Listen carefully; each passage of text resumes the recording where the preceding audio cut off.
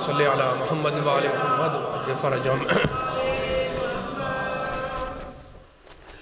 बुलंद आवाज़ से दुरूद पढ़ने से निफाक दूर होता है बुलंद तरीन सलवात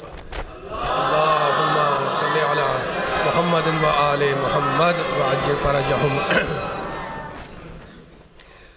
अऊज़बिल्लाहिस्समीअल-अलीम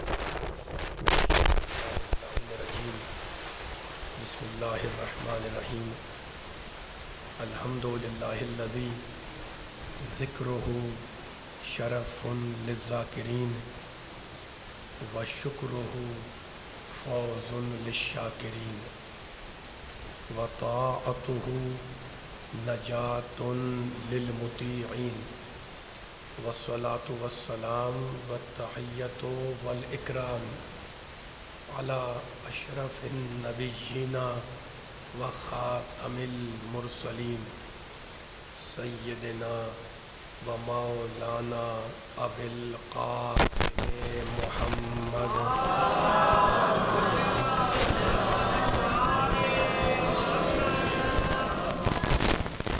व अहल बैतिहि तय्यबीन ताहिरीन अलमासूमीन अलमज़लूमीन अम्मा बाद क़द व तआला फ़ी मुहकम किताबिहिल मुबीन बिस्मिल्लाहिर्रहमानिर्रहीम वमा हाज़िहिल हयातुद दुनिया लहवुन व लइबुन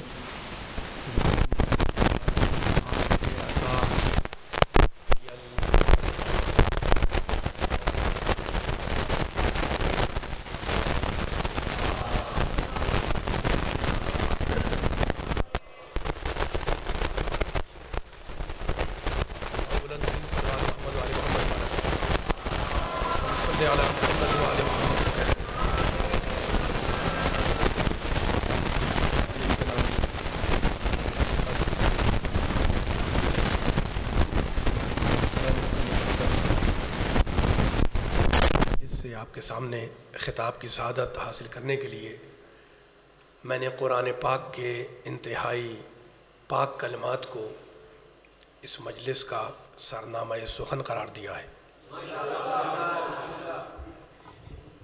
रब कायनात, परवरदिगार आलम, खालिक अर्ज़ समा अरहमुर्राहिमीन अकरमुल अकरमीन, अजवदुल अजवदीन अबसरुन्नाजरीन असमाउस्सामीन सूरह अनकबूत में दुनिया की हकीकत को बयान करते हुए ये इरशाद फरमा रहा है, वमा कायनात बनाने वाला, कायनात खल करने वाला, बस आवाज़ ऐसे तेज़ रखिएगा ऐसे वो कह रहा है, जो कायनात का बनाने वाला है, कहता है, वमा हाजहिल हयात दुनिया। इल्ला लहवन व लएबुन सूर्य अनकबूत में जाके चेक करिएगा। कुरान सुनने वाले हैं, मेरे सामने बच्चे भी बैठे हैं, बुज़ुर्ग बैठे हैं। कुरान का पैगाम है और कुरान देखो, ऐसा कलाम है अल्लाह का। अब इसमें बच्चे बैठे हुए छोटे और बड़े भी हैं, मेरे बड़े भी हैं, बुज़ुर्ग भी हैं, मेरे हम उम्र में बैठे हुए हैं। एक जुमला कहना चाह रहा हूँ अजमत कुरान पर, ताकि फिर मैं उस आयत का तर्जमा करूँगा। देखिए, हम बच्चे होते हैं, फिर नौजवान होते हैं, फिर जवान होते हैं, फिर बूढ़े हो जाते हैं। तो हम पर ज़माने का असर होता है। ज़माना हम पर से गुज़रता है तो हम बचपने से बुढ़ापे की तरफ़ आ जाते हैं। लेकिन मासूम फरमाते हैं कि कुरान ऐसी किताब है कि जिस पर ज़माने के गुज़रने से कोई असर नहीं पड़ता। सलामत मौलाबाद इमाम फरमा रहे हैं, कुरान मजीद वो कलाम है जो ज़माने के गुज़रने से कभी पुराना नहीं होता, कभी कोहना नहीं होता। हम पुराने हो जाते हैं। दस साल गुजर जाए, दस साल पुराने, बीस साल गुजर जाए, बीस साल पुराने, है ना? अच्छा हम, हमारी क्या बात है? हम जो बिल्डिंग बनाते हैं, घर बनाते हैं, दस साल गुजर गए, बीस साल गुजर गए, अब रेनोवेशन रेनोवेशन का मसला आ गया। सवारी है, गाड़ी है, मोटरसाइकिल है, साइकिल है, दस साल गुजरे, पुरानी हो गई। तो ये जुमला, जहन में आपकी जुमला रहे, अब मैं तर्जमा कर रहा हूँ आयत का। ये दुनिया की हकीकत क्या है? अल्लाह कह रहा है, वमा हाजिल हयात दुनिया। कहता है, ये जो तुम्हारी दुनिया की ज़िंदगी है, ये कुछ नहीं है। इल्ला लहवुन व लएबुन ये खेल है और तमाशा है। अल्लाह बोल रहा है, मालिक, ये दुनिया क्या है? कहा, ये खेल है, तमाशा है लह वो लाइब है। मालिक, फिर है ज़िंदगी असल कौन सी? आयत आगे बढ़ी। व इन दारल आखिरता। मैं हवाला दे रहा हूँ सूरत कबूत का जाके जाके आप आय चेक करें।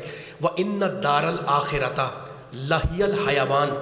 कहता है कि और हकीकी ज़िंदगी की सारी मसरतें, सारी खुशियाँ, हकीकी ज़िंदगी की सारी रानाइयाँ, रौनकें, ये सब की सब आखिरत के घर में है। वह इन्नत दारल आखिरता, लाहियल हयावान। वो जो ज़िंदगी है ना, जो मरने के बाद मिलेगी, दार आखिरत में मिलेगी, वो अल्लाह कहता है, असल ज़िंदगी वो है। ये दुनिया की ज़िंदगी, ये ज़िंदगी नहीं है, ज़िंदगी का ख्वाब है। सलामत रहे, मौला आबाद रखे। ये ज़िंदगी नहीं है, ज़िंदगी का धोखा है। ये दुनिया नहीं है, दुनिया की शबी है। असल दुनिया, असल आलम, असल आखरत, असल ज़िंदगी, असल हयात, आखरत की ज़िंदगी है। लो कानू, सुनिएगा लो कानू यालमून। काश काश लोग समझ से काम लेते, इल्म से काम लेते तो उन्हें ये अंदाज़ा होता कि ये दुनिया कुछ नहीं है, जो कुछ है वो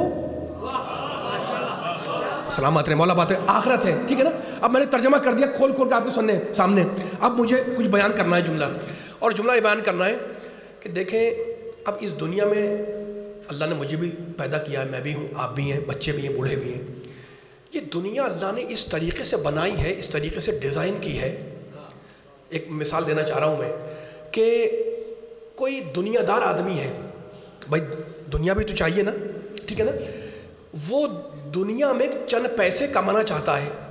सुनिए का जुमला, अब क्या करें? मतलब पैसा आसमान से बरस रहा है। नहीं, अगर उसे चंद पैसे भी दुनिया में कमाने हैं तो जब तक वो अपने आराम को कुर्बान नहीं करे, पैसा कमा नहीं सकता।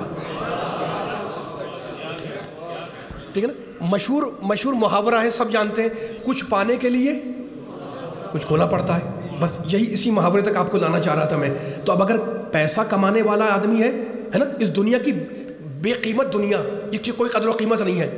इस्लाम के निगाह में कोई हैसियत नहीं है इसकी, ठीक है ना? असल ज़िंदगी वो है।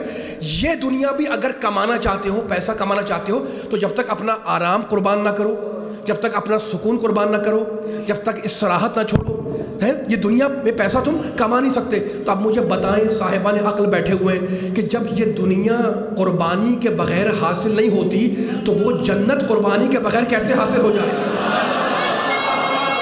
वो जन्नत मौला बात रखे आपको? सोचने सोचने वाली बात है ना? अच्छा मैं मेंबर में बैठा हूँ आप तकीर कर रहा हूँ आयतें पढ़ रहा हूँ, है ना? आप नारे लगा रहे हैं, नारे तकबीर, नारे सारे नारे हैदरी। हम में से कौन ऐसा है जो जन्नत में नहीं जाना चाहता?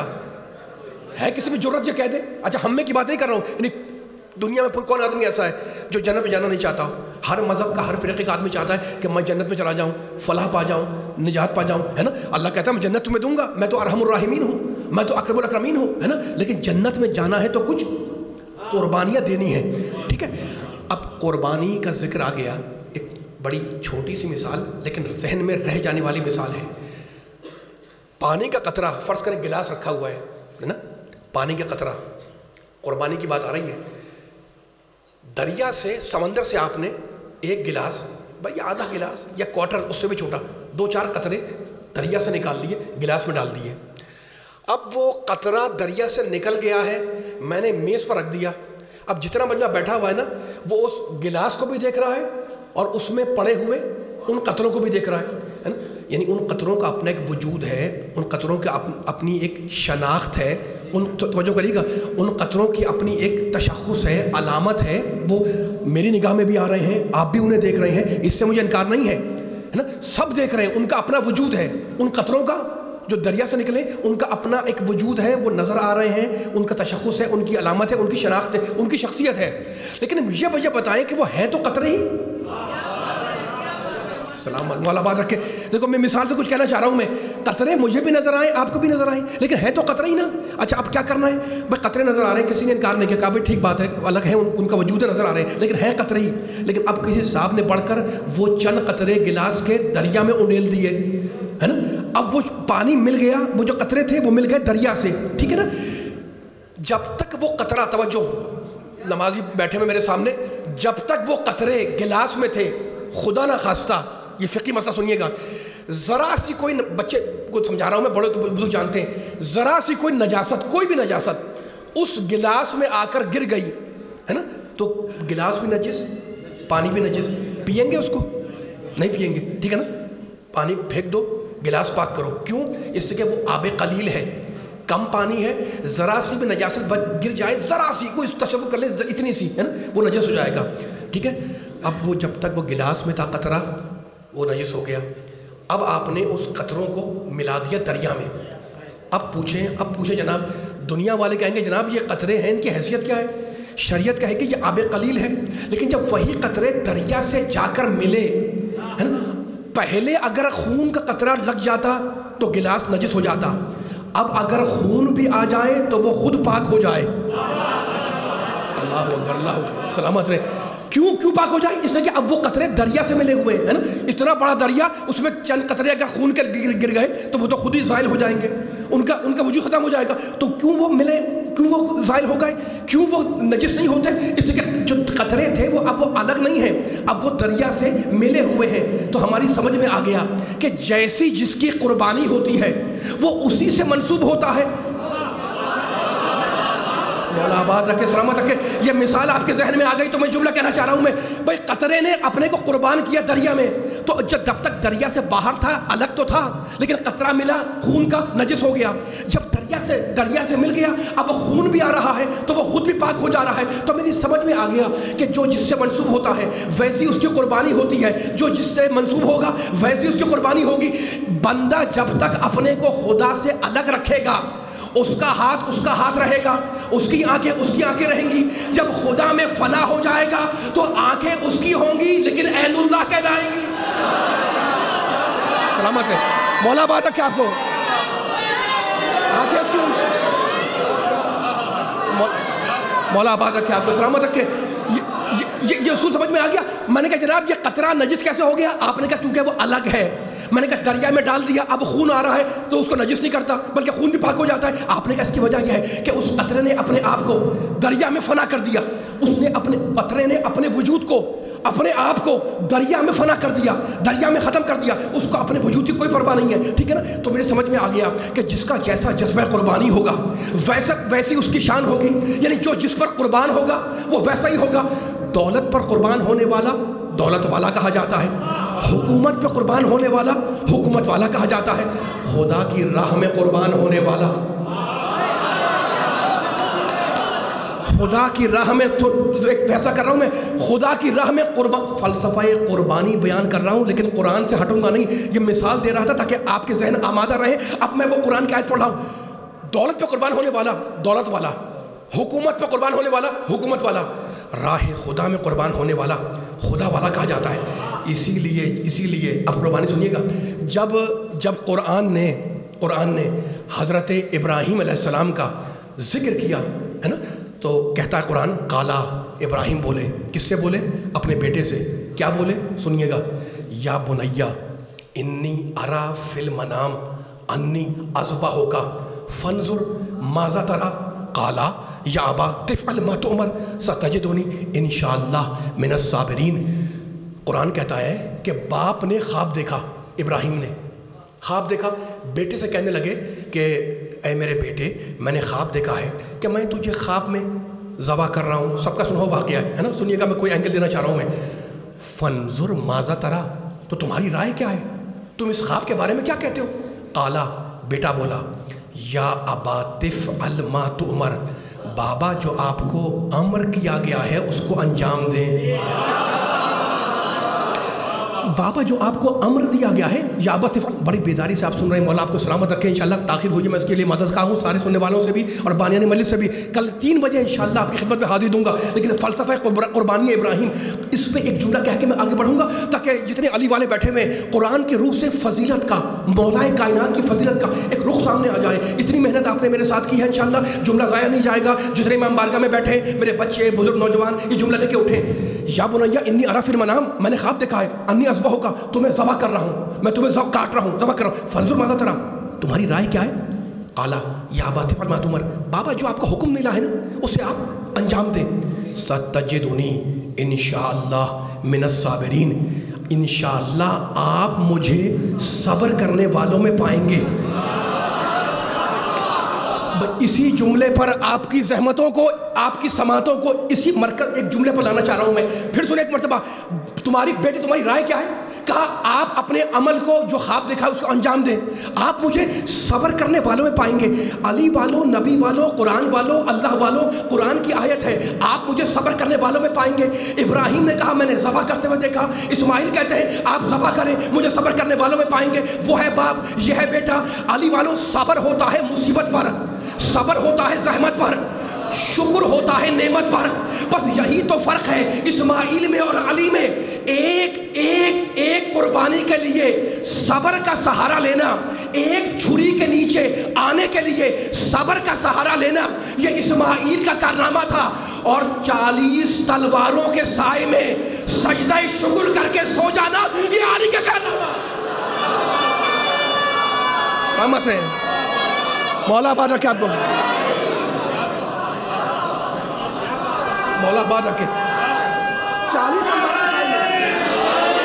मौला बाद रखे आपको इससे भी बुलंद सलवात मिल के मोहम्मद वाले मोहम्मद पर। कैसी? सलामत। मौला आपके उठते हाथों को सलामत रखे। सभी बुलंद सलवात मिल के पढ़े मोहम्मद वाले मोहम्मद पर। मोहम्मद वाले मोहम्मद। सलामत है देखो फलसफा कुर्बानी इब्राहिम पर ये जुमला मैंने हदिया कर दिया। अब मैं फिर कुरान मजीद की इस जुमले को मिला रहा हूँ ज़ियारत के जुमले से। बहुत से लोग होंगे जो ज़ियारत पे गए हैं, है ना? जो नहीं गए, अल्लाह ने तोफ़ी दे कि वो जाएँ, और जो जा चुके हैं वो बार बार जाते रहे। मौलाबाद रखे आपको, ठीक है ना? अच्छा तो अब पूरी गुफ्तु का खुलासा बयान कर रहा हूँ। वो खुलासा ये है कि जनाब तजदोनी इन मिनत साबरीन। आप मुझे साबिर पाएँगे। सब्र करने वाले को पाएँगे, है ना? सब जानते हैं कि सब्र होता है जहमत पर। जहमतें हो तो सब्र हो, मुसीबतें आई तो सब्र हो, और शुक्र होता है नेमत पर, ठीक है ना? तो घिरे हुए शब हिजरत हिजरत की रात, घिरे हुए घर में चालीस तलवारों के साय में बिस्तरे पैगंबर पर सजदा शुक्र करके सो जाना। ये सब्र से आगे की मंजिल है ना? ये सब तो करें, ये सब्र से सबर की मंजिल नहीं है ये सबर तो गुजर चुका है। ये सबर से आगे की मंजिल है। वो सबर की मंजिल जो मुसीबत पर हो, ये शुक्र की मंजिल, जो शुक्र की मंजिल जो नेमत पर हो। इसीलिए जब मौलाए कायनात की जियारत पढ़ी जाती है तो मौलाए कायनात की मेरे मौला की जियारत में जुमला है कि, मौला आप चलो जो मौला आप चले तो इस्माइल ही की राह पर। लेकिन आप इस्माइल से आगे निकल गए। खुदा करे, ये जुमला पहुँच जाए। आपने बड़ी बेदारी से मेरा साथ दिया है। इतनी देर के बावजूद, इतनी सर्दी में, इतने वक्त गुजरने के बाद, ये नमाजी, ये अली वाले, ये खुदा वाले, ये नबी वाले, ये अल्लाह वाले, ये मेरे बच्चे, ये नौजवान, ये बुज़ुर्ग, एक जुमला लेके उठेंगे इंशाल्लाह आप आप चले तो इस्माइल की राह पर मौला की की जुमला। लेकिन मैं गवाही देता हूँ कि आप इस्माइल से आगे निकल गए। क्यों? इसलिए इस्माइल मंजिल सबर पर ठहर गए।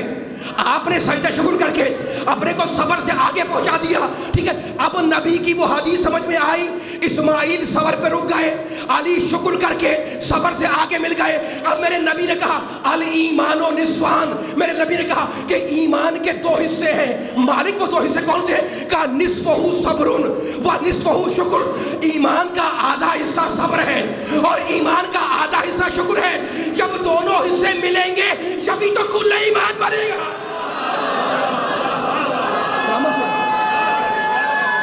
मौला नारे हैदरी। सलामत है मौला बात रखे आपको सलामत रहे। सभी बुलंद सलवात मोहम्मद वाले मोहम्मद पर। मोहम्मद वाले मोहम्मद। मौला है भाई जो आपके हाथ उठते हैं ना सुबह अल्लाह, वाह वाह वाह वाह, है ना? अल्लाह सलामत रखे। देखो ये तहजीब है मजलिसों की, है ना? नारे लगाना, नारे तकबीर, नारे रसालत, नारे हैदरी। और मैं तो अली वालों के सामने कुरान की आयतें पढ़ रहा हूँ, नबी की हदीस बयान कर रहा हूँ, और आपको जोश चढ़ता आप नारे लगाते हैं और लगाएँगे भी, दाद भी देंगे। इसलिए कि शायर ने सही कहा कि मुनाफिक है कि मोमिन। रंग चेहरे का बता देगा। सलामत है, मौला बात ठीक है तो मैं फिर जा रहा हूँ उसी जुमले की तरफ़। वमा हाजिल हयात दुनिया लहबुन वलैबुन ये दुनिया क्या है? खेल है, तमाशा है लहब लईब है। मालिक असल क्या है? का असल ज़िंदगी आखरत की ज़िंदगी है। ठीक है? अच्छा तो अब फिर आगे ले जा रहा हूँ मैं। देखें, सदियों तक सदियों तक, कोई दो चौ, दो दो साल दो साल, तीन साल नहीं, सदियों तक इंसान ने जो ज़िंदगी गुजारी है ना, ये अंधेरों की ज़िंदगी थी। इंसान तारीकियों में ज़िंदगी गुजार रहा था। और अब जो इंसान का सफ़र है मॉडर्न दौर साइंस का दौर एटम बम का दौर, है ना? कंप्यूटर का दौर, कितनी चीज़ें डिस्कवर हो रही हैं, असर जदीद, असर नौ है। अब जो इंसान का सफ़र है, वो बरबरीत से सकाफ़त की तरफ़। अब जो सफ़र है इंसान का, वो इल्म से जहल की तरफ़ नहीं, जहालत से इल्म की तरफ़ है। ठीक है? मेरा साथ देते रहें। अच्छा तो ये जो सफ़र, ये जो सफ़र तय किया इंसान ने, सदियों का सफ़र मैं पूरी किताब है जिसको चंद में बयान कर रहा हूँ। ये सफ़र तय किया इंसान ने अपनी अकल की रोशनी में। ये सफ़र तय हुआ है, रोशनियों की तरफ़ इंसान आया है, तरक्की की तरफ़ आया है, टेक्नोलॉजी की तरफ़ आया है, अकल के सहारे। अजमत इंसान पर जुमला कहना है मुझे और अजमत अकल को मिला के कहना है। देखें, अगर इंसान अब अकल का रोल देखें, अगर अकल ना हो ना इंसान के पास, हम भी मखलूक अल्लाह की और जानवर भी मखलूक अल्लाह की। मखलूक वो भी हैं, मखलूक हम भी हैं। लेकिन अकल ना हो तो जानवर हज़ारों साल के मिजाज पर आज तक टिका हुआ है।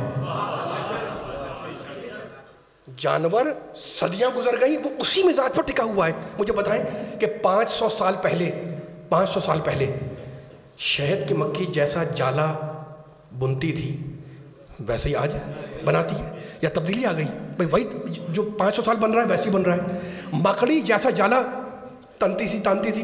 वैसा जाला, आज बनाती है। ठीक है ना? तो ये क्यों हो रहा है कि जानवर जो रुक गया सदियों के मिजाज पर? क्यों रुक गया? इससे कि जानवर के पास अक्ल नहीं है।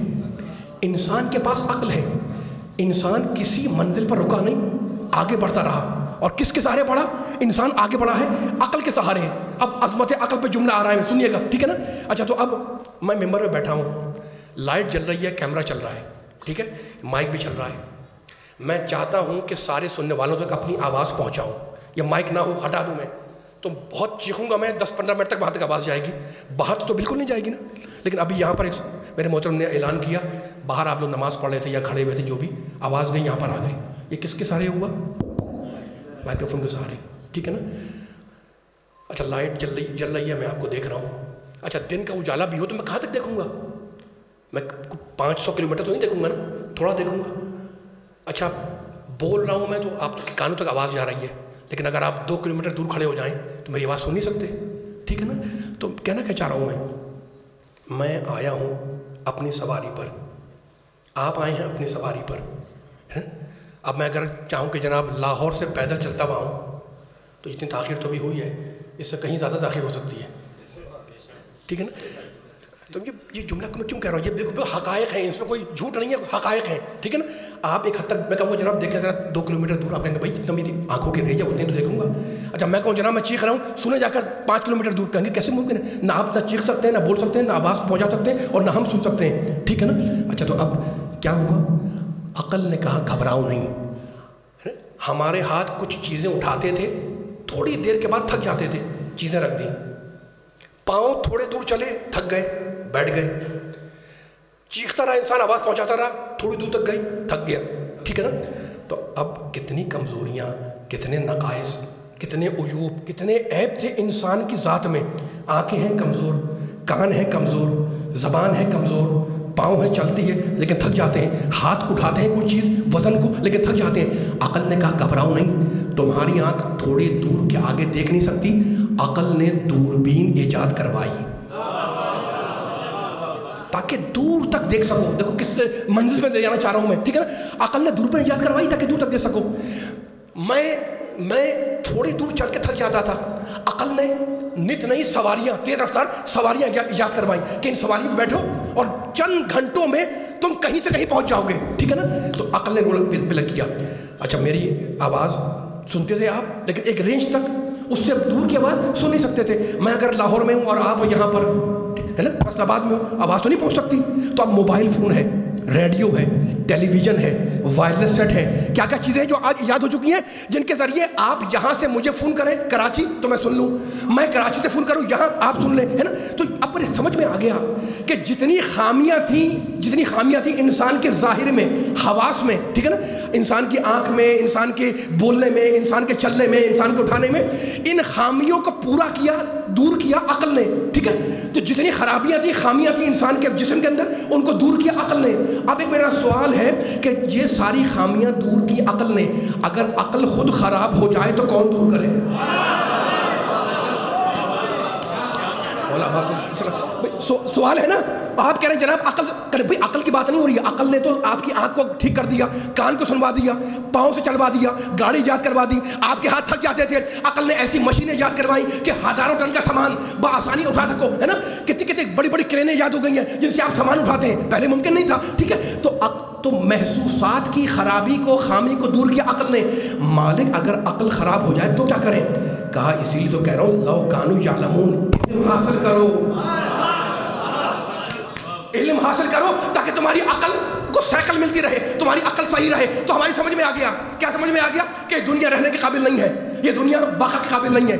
ये दुनिया इंसान का मस्कन दायमी नहीं है। इसलिए कि अगर ये दुनिया रहने के काबिल होती तो कभी भी जवानी पर बुढ़ापे का हमला ना होता। तवज्जो जुमले के ऊपर। अगर ये दुनिया रहने के काबिल होती तो इंसान हमेशा तंदुरुस्त रहता। कभी बीमार नहीं होता। बीमारी बतला रही है कि इंसान, ये दुनिया पायदार नहीं है। कभी न कभी यहाँ से चले जाना है। ये दुनिया अगर रहने के काबिल होती तो फिर तंदुरुस्ती पर नातवानी का हमला ना होता। सेहत पर मरज का हमला ना होता। ज़िंदगी पर मौत का हमला ना होता। ठीक है ना? अच्छा तो अब पता चल गया कि दुनिया रहने के काबिल नहीं है। अब एक सवाल कर रहा हूँ। देखिए, ये सारे जुमले आप बड़ी बेदारी सुन रहे हैं। जाएँगे किसी नतीजे तक? जो मैंने जुमला पहले कहा था ना आपसे, जन्नत के बारे में, वहीं तक ले जाना चाह रहा हूँ आपको। अच्छा तो अब, आज हम जिस दौर में अभी कोरोना का दौर गुजर रहा है अखबार में, मीडिया पर, कितनी बातें आती हैं, भाई, फला वैक्सीन ईजाद हो गई, फलां दवा ईजाद हो गई, ये दवा खा लो पाँच दिन के लिए, फलां दस दस दिन खाने खा लो, ये इंजेक्शन लगवा लो, ये बूस्टर लगवा लो, ऐसे ही हो रहा है ना? ये क्यों हो रहा है ऐसा? कि बड़े बड़े दानिश्वर बड़े बड़े साइंटिस्ट बड़े बड़े डॉक्टर्स सर जोड़े बैठे हुए हैं कि कोई वैक्सीन ईजाद हो जाए जिससे ला इलाज अमराज दूर हो जाए ये क्यों ये क्यों तहकीक हो रही है ये रिसर्च क्यों हो रही है एक सवाल है मेरा आपसे भी सबसे भी कि तहकीक क्यों हो रही है कि वैक्सीन ईजाद हो जाए ला इलाज अमराज के लिए कोई दवाई ईजाद हो जाए क्यों इसलिए कि इंसान के मिजाज में बाकी रहना है जुमला पहुँचे ये क्यों हो रहा है? इस, इसकी जड़ क्या है? इसकी जड़ इसका सबब यह है कि इंसान के मिजाज में बाकी रहना है। मैं चाहता हूँ हमेशा रहूँ। आप चाहते हैं हमेशा रहें। वो चाहते हैं जरा मेरा घर बना रहा है मैं महल में आराम से पढ़ा रहा हूँ। हज़ार साल, दो हज़ार साल, ठीक है? हर इंसान के तवज्जो फरमाए। मैं पूरे परिणव इंसान की बात कर रहा हूँ। हर इंसान चाहता है कि वो जवान रहे। हर इंसान चाहता है कि वो तंदुरुस्त रहे। हर इंसान चाहता है कि वो लाफानी हो जाए। हर इंसान चाहता है कि वो हमेशा रहे। हर यानी कोई इंसान ऐसा नहीं है जिसके दिल में ये तमन्ना ना हो कि मैं लाफानी हो जाऊँ। मैं हमेशा रहूँ, मैं हमेशा बाकी रहूँ, मैं जवान रहूँ, मैं सेहतमंद रहूँ, है ना? तो वो जगह आली वालों, जहाँ इंसान लाफानी हो जाए, जहाँ इंसान जवान रहे, जहाँ जवानी फ्रीज हो जाए। उस जगह का नाम है जन्नत और उस तक जाने का रास्ता है आखिरत।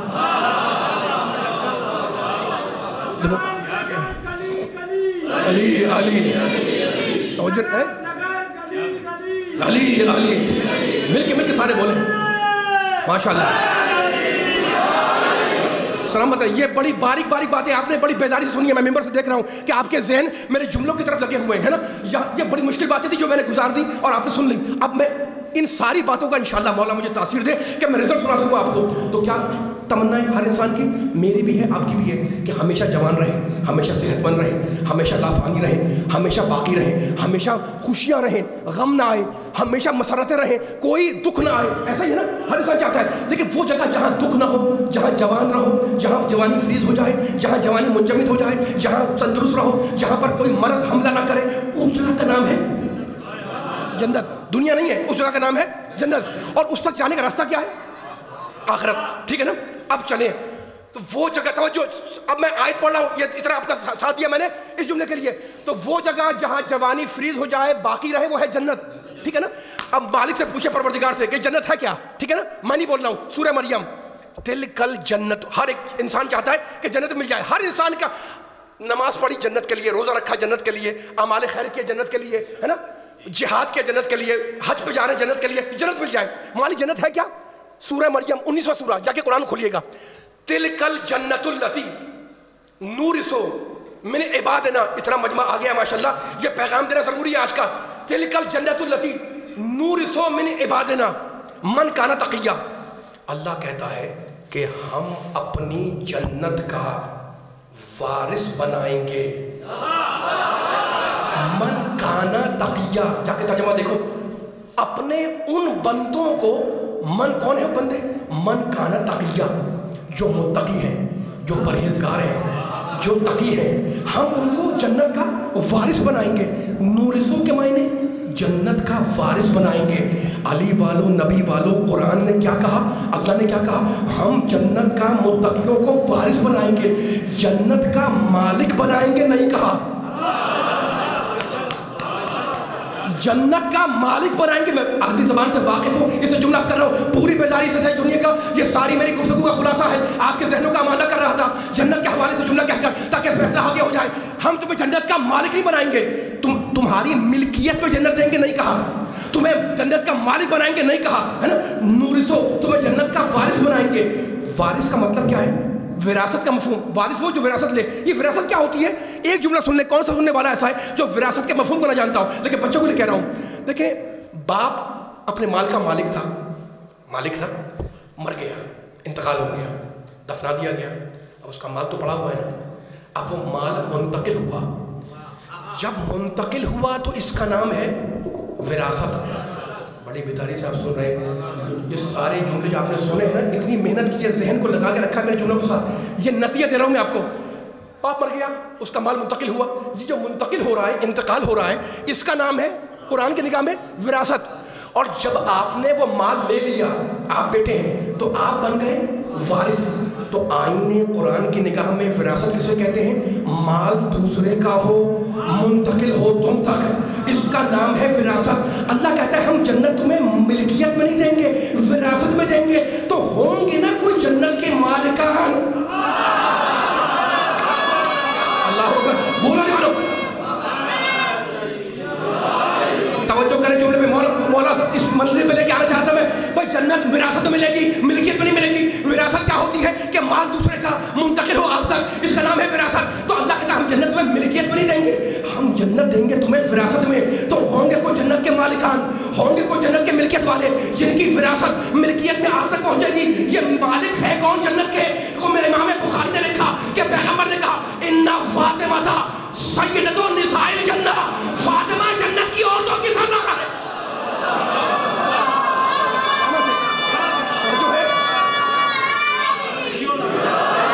आबाद रहे आप। मोहम्मद वाले मोहम्मद।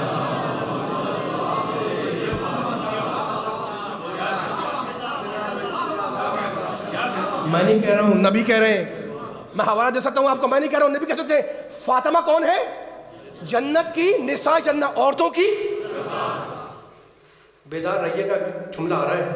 अब तमीर ख़त्म करके मैंने जल्दी से रिज़ल्ट देना, लेकिन शर्त जगह सब बोलते रहे मेरे साथ साथ थके तो नहीं है? माशाल्लाह माशाल्लाह। जो मुश्किल मरला था वो आपने गुजार दिया है अब मुझे रिज़ल्ट देना है। फातिमा सलाम रसूल कह रहे फातिमा जन्नत की औरतों की सैयदा है। सरदार है, हाकिमा है, मालिका है। फातिमा जन्नती है, ये नहीं कहा। अल्लाह अकबर सलामत मुझे कोई फैसला करना है खुदा करे, मैं मिसाल दे दूँ। वो मिसाल इतनी इंपॉर्टेंट है मेंबर से कह रहा हूँ मैं। आपको हमेशा याद रह जाए, इंशाल्लाह, मेरे आने का मकसद हो जाए। कितनी आसानी से नबी ने जन्नत अपनी बेटी को दे दी। भाई, मुझे बताएँ, कह दिया फातिमा जन्नत की औरतों के सरदार है। जन्नत ही नहीं कहा, हाकिमा है, मालिकन है, मालिका है, हाकिमा है, सरदार है, सजदा है। कौन? फातिमा। ठीक है अब मैं पूछ रहा हूँ कि जन्नत क्या ख़ानदान बनी हाशिम की कोई जायदाद थी जो अपनी बेटी को दे दी?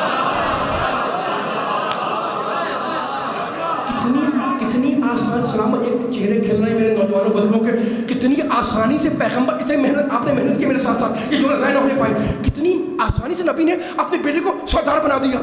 सैदा है, सरदार है, हाकिमा है, मालिकन है, मालिका है, जन्नत की, है कि जब कुछ पूछ होता है ना कि क्या जन्नत खानदान बनी हाशिम की कोई प्रॉपर्टी थी, कोई जायदाद थी, कोई जागीर थी जो अपनी बेटी को दे दी? इतनी आसानी से कि सैदा है, मालिका है, हाकिमा ठीक है ना? कहने का नहीं। नहीं हमने कहा बात क्या है? सुनिएगा।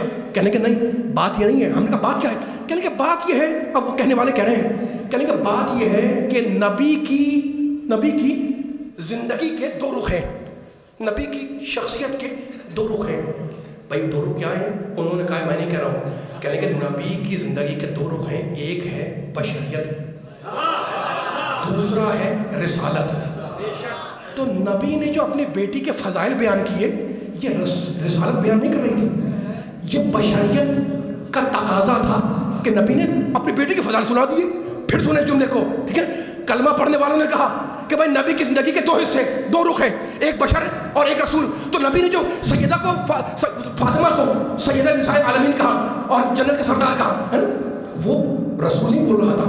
वो बाप को मोहब्बत होती है, अपनी बेटी से तो कह दिया कि जन्नत के सरदार है, ठीक है? मैंने आपके सामने ये जुमला नकल कर दिया, अब मैं जवाब दे रहा हूँ। क्या कहा कहने वालों ने कि रसूल की दो हैसियत, एक बाप की, एक रसूल की तो रसूल ने फातिमा को जो सरदार जन्नत कहा, मालिक जन्नत कहा, ये रिसालत नहीं कह रही थी, ये बाप बोल रहा था, ठीक है ना? अब मैं इसी जुमले पर एक मिसाल दे रहा हूँ, समझना आपका काम है। ये इतना मजमा बैठा हुआ है है ना? अपनी अपनी सवारी पर यहाँ पर आए हैं, ठीक है? कोई मोटरसाइकिल पर, कोई साइकिल पर, कोई गाड़ी पर, यहाँ पे आके बैठे हुए अच्छा आपकी मिल्कियत है आपकी गाड़ी?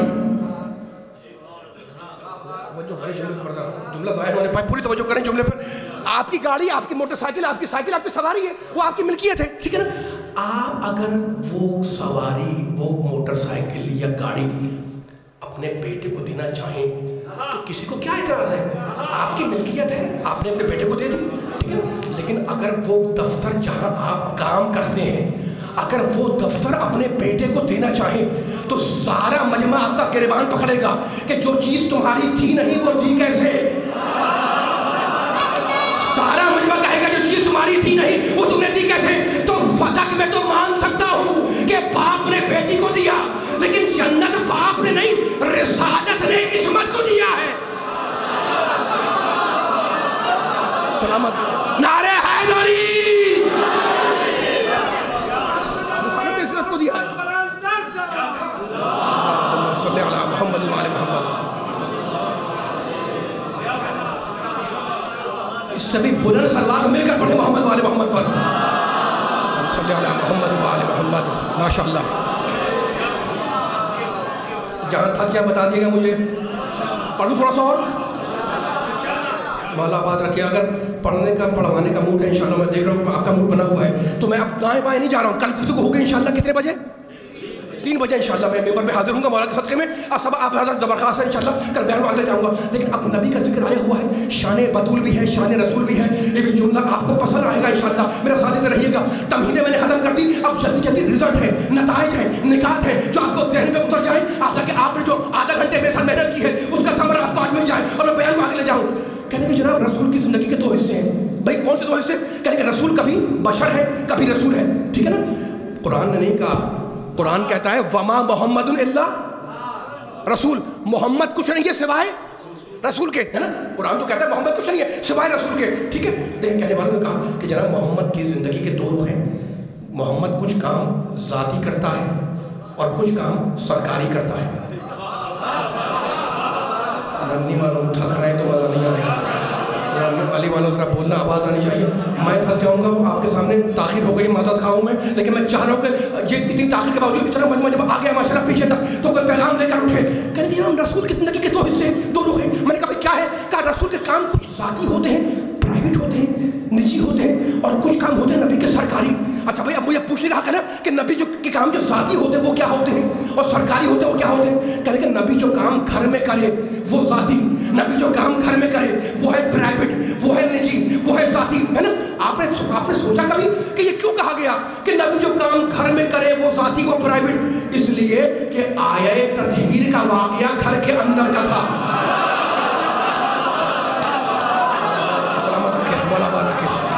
सलामत सलामत आवाज़ से रखे इसकी आया तफहीर का वाक्य घर के अंदर का था। आया तफहीर पे शायद कल कुछ जुमले बयान करूँ मैं। आज वक्त नहीं है, लेकिन आज फिर है नबी की शान में एक जुमला बयान करके बयान को आखिर में करीब कर दूँ करेंगे जनाब नबी के काम साथी, कौन से काम साथी? जो घर में करे।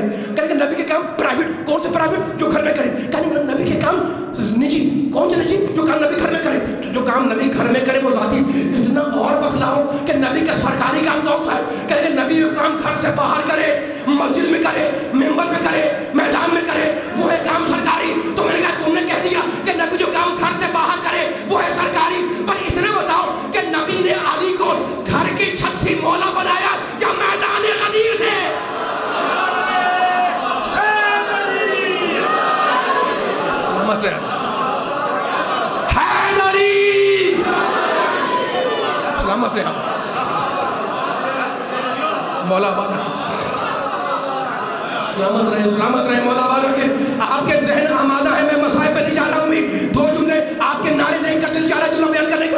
मैं जो काम घर में करे वो?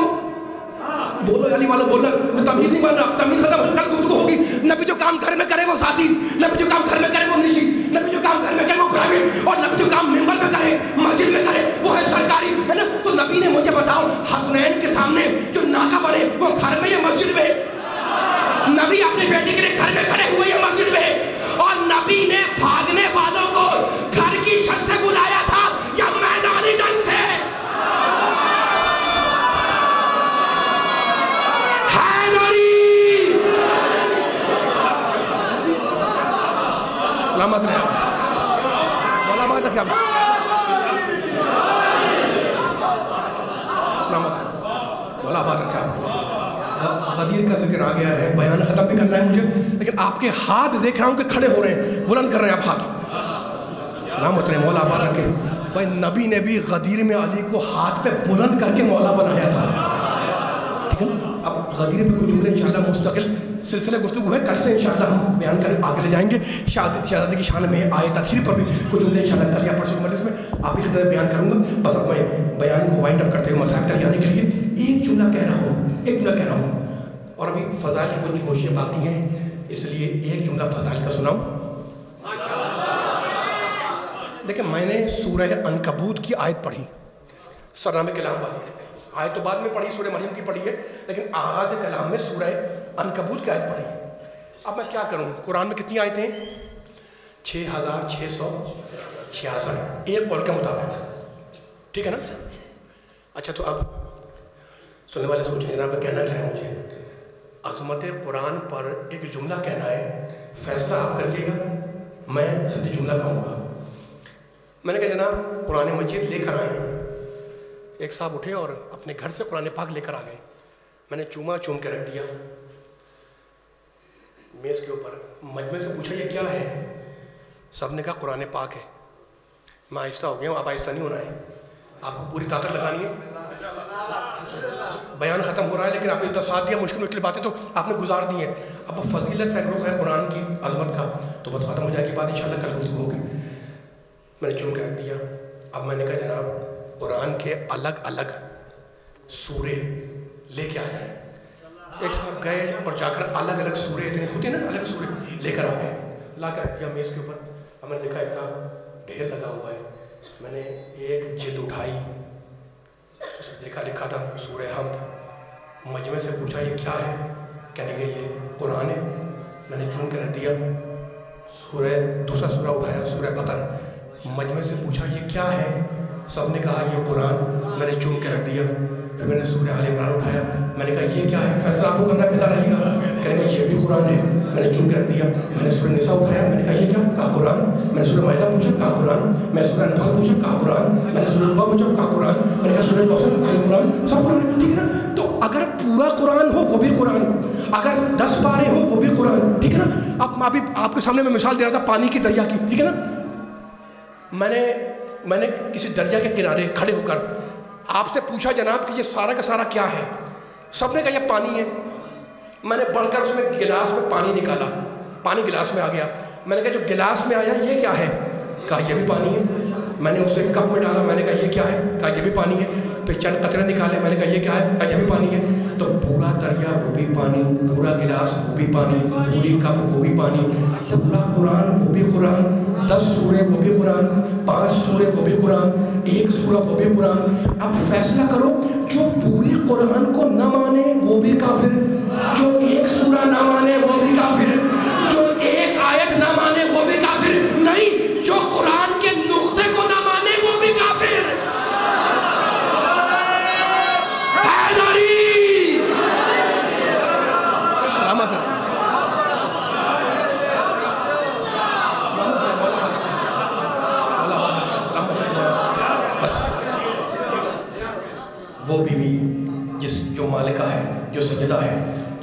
है। जवाना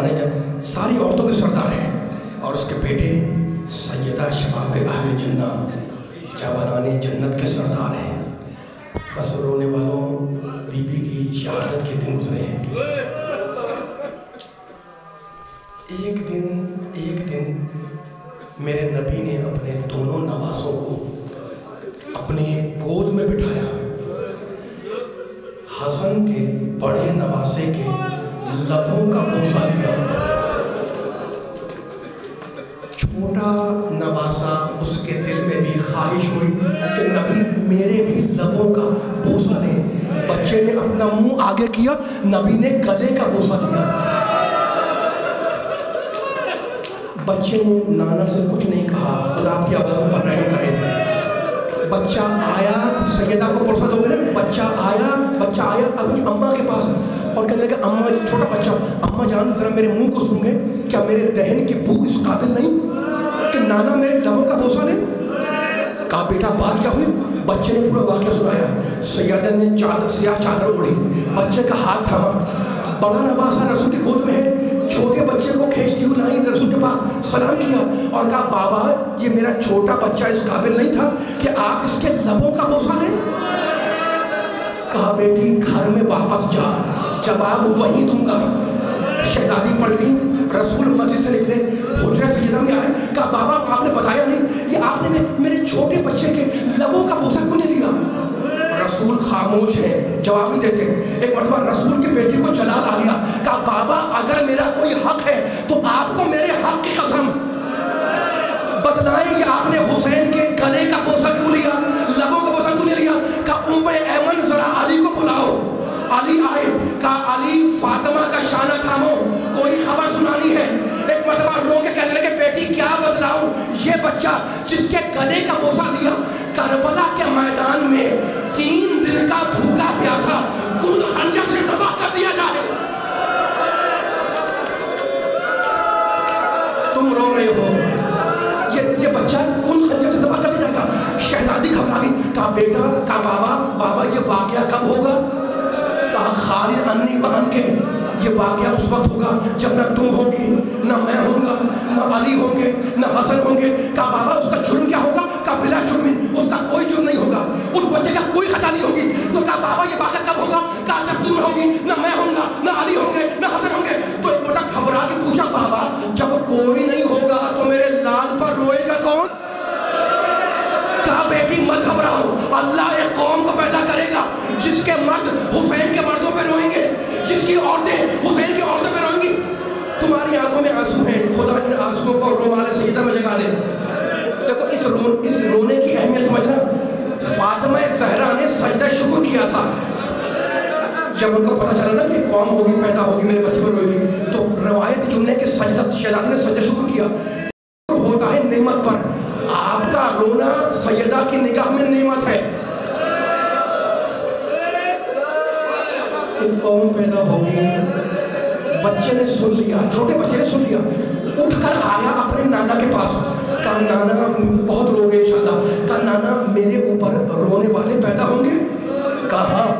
नाना, आप मेरे रोने वालों के साथ क्या शुरू करेंगे? कहा, बेटे, मैं शाफे महशर हूँ। तेरे रोने वालों की शफात करूँगा। आया बच्चा अपने बाबा के पास। कहा, बाबा, आप मेरे रोने वालों को क्या इनाम देंगे? कहा, मत घबराओ। मैं साकी कौसर बच्चा आया अपने भैया हसन के पास। कहा, भैया, तुम क्या दोगे कहा, मैं जवानाने जन्नत का सरदार हूँ। तेरे रोने वालों की शफात करूँगा। जब नाना से वादा ले लिया, बाबा से वादा ले लिया, भैया से वादा ले लिया तो बच्चा चलता हुआ आया और आकर अपनी अम्मा की गोद में बैठ गया। कहा माँ आप मेरे रोने वालों को क्या इनाम देंगी? एक मरतबा सैयदा ने एक चीख मारी और ना बेटे हुसैन, ये नादार माँ, ये दुखरियारी माँ, तेरे रोने वालों को क्या दे सकती है?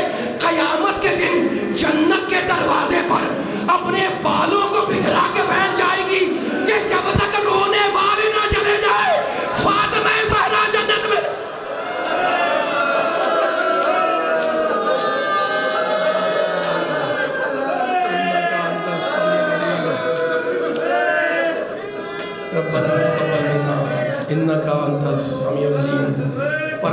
हमारी इस इबादत को कबूल फरमा। सब मिलके आमीन कहें। जो बीमार हों, उनको बेहक बीमार करबला, सेहत कामिल अता फरमा। जो मकरूज़ हों, उनके कर्ज़ों को अदा फरमा। हमें उस वाय मोहम्मद वाले मोहम्मद पर चलने की तोफ़ी अदा फरमा। ज़हूर इमाम ज़माना में ताजील फरमा। कल इंशाल्लाह आपके सामने हाथ देंगे तीन बजे इंशाल्लाह। एक मरतब मिलकर बुलंद तरीन सलवात